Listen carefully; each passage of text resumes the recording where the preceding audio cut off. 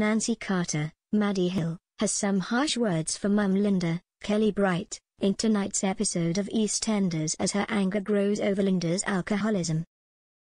Following Linda's return, it didn't take long for her family to discover she was back on the booze. Getting drunk at Tina's funeral, Linda's awful behavior continued at the wake, where she drunkenly made a fool of herself and Mick, Danny Dyer, in front of a crowd of people. Trouble continues for Linda tonight, who's still jealous over Mick and Janine's, Charlie Brooks, developing relationship. Currently staying with Sharon, Letitia Dean, Linda expresses her worries in a clip shared by the EastEnders Twitter account, fearing things won't ever be the same again for her family. When Nancy enters, Linda is surprised to see her.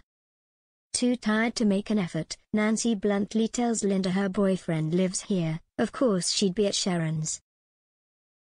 Keen to rebuild the relationship with her daughter, Linda wonders if Nancy would like to spend time with baby Annie. Nancy can't bring herself to be civil with Linda and questions why she's even in Walford, pointing out she's got no shame after the wake and funeral.